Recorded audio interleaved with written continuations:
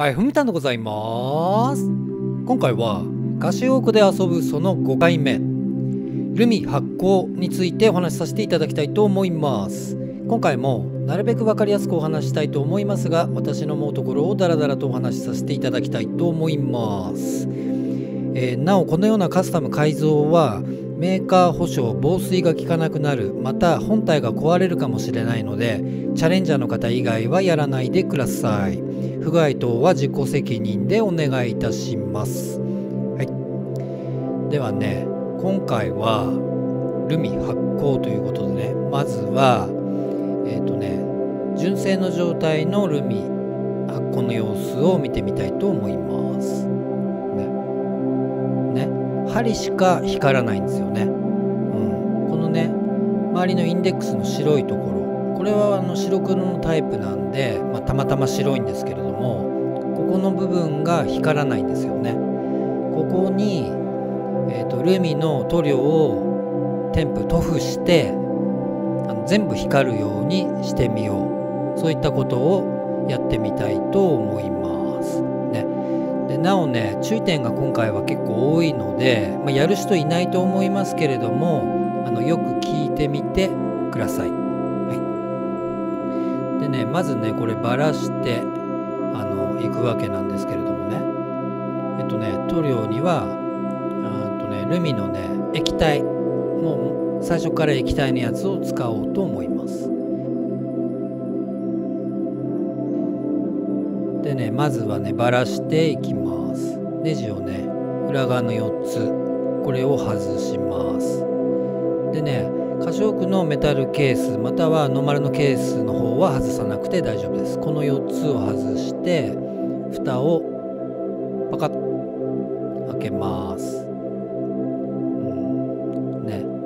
ちょっとね防水のゴムが貼り付いてましたね。はい。でねゴムのシートが乗っかってます。これをね取ります。でねこれやるときに私はまたあの思いつきでやってますんで素手でねちょっとやっちゃってるんですけれどもあのね指サックとしてください。でね今説明してるんですけど針がねこれなんでしょうインデックスの方が相手側に置いてきちゃう可能性もあるんですよ。だからあの、例えばですけどあの、45分とか50分とかのところに針が重なってる時に動かさないってことですね。確認しながらやってみてください。ちょうどね針がインデックスの間にあるところ。その時にやる。外すってことですね。外すのはこの隙間を簡単にこうこじります。でマイナスドライバー一応ですけれどもねあの何でしょう。絶縁してあります。でこう見てみるとちょうど針が真ん中辺に来てますよね。今がチャンスとばかりに外してみます。パカッ。ね。本当にパカッとはまってるだけです。でね今回は初めて外したのでこのインデックスのダイヤルがくっついてきます。ね、でこれもねはまってるだけなんですけれどもえっとね12時のところにえっとね糊がねちょっぴりだけついてるんですね。あの硬くて取れないっていうほどじゃないのでこのねあのなんでしょう。まあこういう精密ドライバーとかあとはスクレバーの類とかをちょっと入れてね軽くキュッてやれば簡単に取れます、まあ、極端な話ね指でもね取れます。ね。パカッてもう浮いてますもんね。うん。でこれ見てってねあの見てると分かるんですけれども12時のところだけしがみついてるような感じなんですよ。でこう剥がしていくとペロってなんか糊みたいなのがペロって見えました？ね。それだけ気をつけてください。で内側のねボタンのところはねえー、っと E リングみたいなので止まってるようです、ね、こっちは触らない。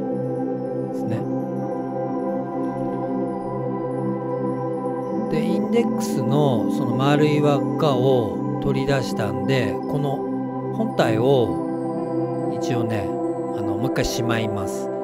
でねこのケースのところにこの溝が出っ張りが切ってあるじゃないですか。これに合わせて入れていくんですね。これが12時ちょっと脇のとこ。体の方で見てみるとこうひっくり返してみてちょうどこの辺に切り欠きがあるんですよね。そう。ここね。そう。そこの切り欠きにケースのその出っ張りの筋みたいなのに合わせて入れていきます。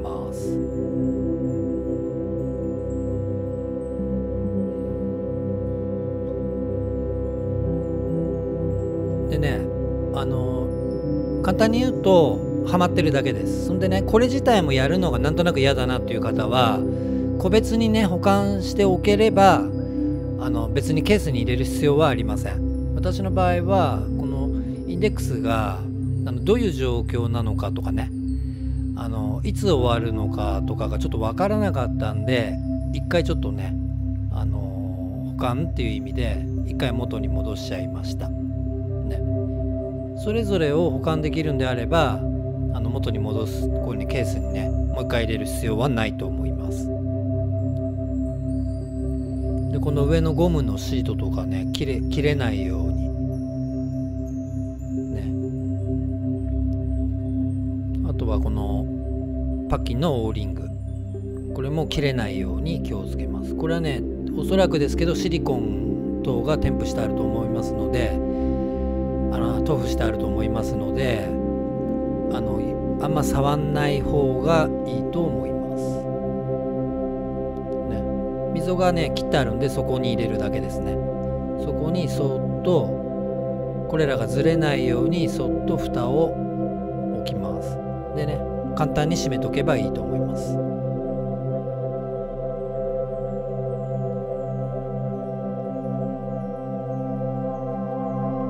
全部ね作業が終わったらね、あのこの作業で最後口を閉めるっていうことになりますよね。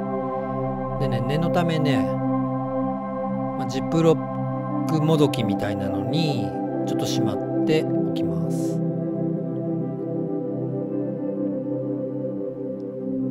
ね。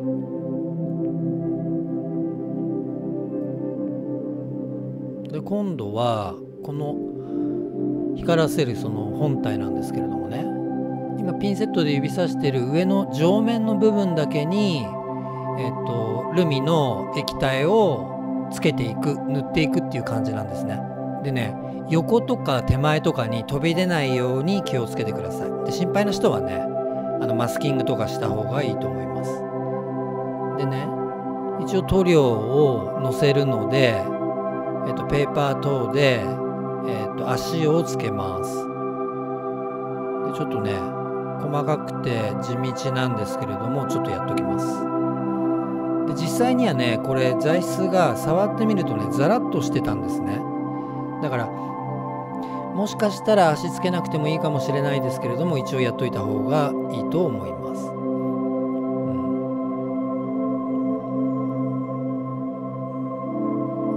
ん。ね、全部やるっていうでこの液体。この液体に関しては後でまあ説明したいと思います。これをね筆でねあの塗っていきます。とね上の部分だけをこう塗っていくんですけどこうのせるような感じですよね。今のとこ。そう今のとことかね。もうこのくらいで大丈夫です。でこれねあんまりのせすぎるとこれ何でしょう？こうルミルミなんでこう積層した方が光るんですよ。うん、ですけどここが注意点であんまり積層すると針に当たっちゃうんですよ。ね。で私はそういうことが実際に起きて少し削ったり針で調整したりすることになってしまいました。だからね、まあ、やる方は最小限で様子見てで一回セットしてみてっていう風にね面倒でもやった方がいいかもしれません。それかあのもともとこの塗る部分をあらかじめ削ってそれから乗せていくっていう風にすれば効果的なんじゃないかなっていう風に思います。そしてね3時間2時間3時間乾かしてそして乾いてることを確認して本体にセットしていきます。でつける時もさっきと同じなんですよね。だから今は33分ぐらいじゃないですか。これが、えー、30分とか35分とかになってると針に当たっちゃうのでその時間を避けるようにしてセットします。ね。でちょっと入ってないなっていうところがあれば何かしらの道具でこう軽く押さえ込むようにして均一に入れていきます。で特にね場所を間違えてなければあの軽く押し込めば入ります。でぴったりね入ってることを確認して。でケースの内側はちょっとエアやっときました。でね正面から見ると今指さしてるところがつばがついてるの分かります？うん。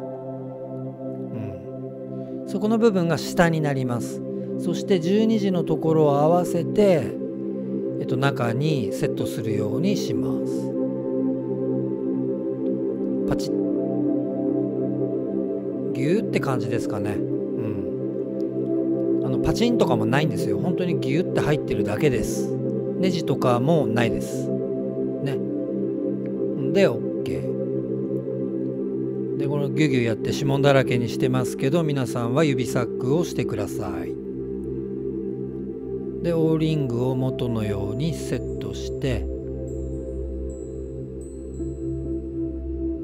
でゴムのシートをつける。でねオーリングとかももしできる方だったらシリコンとかをちょっとつけてからやるっていうのもいいかもしれません、う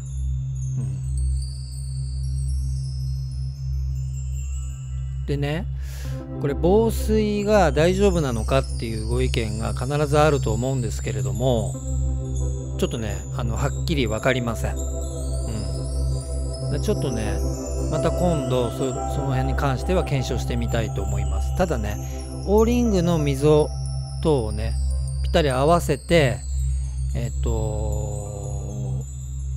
こうね蓋をつける時にオーリングがずれないようにちゃんとセットすれば普通の状態まあ普通の状態って変ですよね。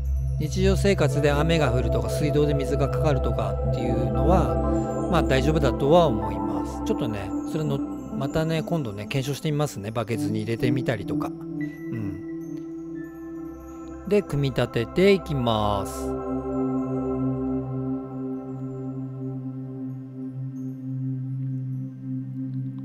でねネジ毎回言うんですけど相手樹脂なんでそんなに強烈にやんなくて大丈夫です。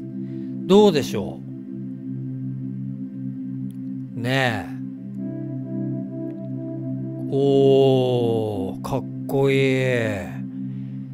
これはいいんじゃないかなと思います。これね結構求めてる方多いんじゃないかなってね私は勝手に思っています。はい。ねいかがだったでしょうか。今回もねちょっとしょうもないあの、工作シリーズだったんですけれどもえっとね注意点としてはえっとまずはね指サックとかするってことですね。指紋だらけになっちゃうんで。あとね本体を中から取り出したりあとまた中にしまったりする時にそのインデックスのちょうどの位置っていうんですかね。その場所にかからないようにあの針がねぶつかっちゃうんですよ。でね例えばあの30分とか35分とか40分とかですよね。そういうところにぶつかっちゃうんでそれをちょいちょい見ながらあのやってください、うん、あのね左上のところをセットボタンを長押しにした状態にしてもいいんですけどなんかねちょうど重なっちゃったんですよ。あの静止した位置がね。だ私はちょっと見ながらやっちゃいました。ね、であとはルミの塗料を塗っていく時に積層すると光らねすごい光るんでなるべく積層したくなるんですけれども盛ると針が当たっちゃうんですよだからいいところちょっとね1回塗ってある程度盛れるんであればね難しいんですけれどもねちょっと加減見ながらねあのー、考えてみてください。ということでね今回は、ま、成功したっていうよりはあのようやく完成したかなという感じになりました。でね次回ねちょっとねもう一回だけねチャレンジしてみたいと思います。それなんでかというとまずはこのあの、塗料がですね 下地が白っぽくないとあんまり光んないんですよただ白っぽければ、あの、かなり発光力はあると思いますこれを色物のやつにでさらにあインデックスの元の土台を低くして積層するねそういったことにチャレンジしてみたいと思いますはいということで、えー、今回も見ていただきありがとうございました。またお話しさせてください。